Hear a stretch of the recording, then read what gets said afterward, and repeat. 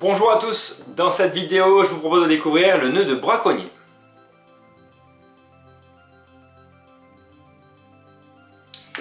Il s'agit là d'un nœud coulant très facile à réaliser car pour moi il n'est autre qu'un nœud coulant simple doublé. Il est présenté dans la section nœud professionnel par Ashley et tient une part importante peut-être pour les braconniers et les chasseurs de l'époque.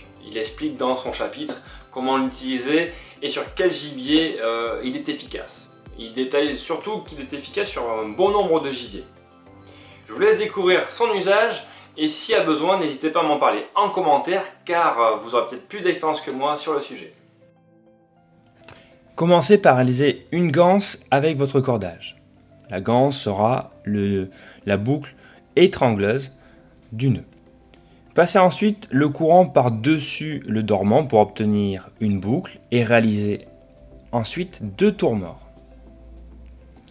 Le courant repassera à travers ces deux tours morts, comme pour un nœud simple doublé.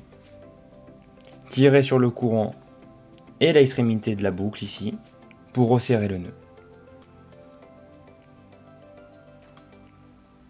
On peut s'apercevoir qu'il est bien coulant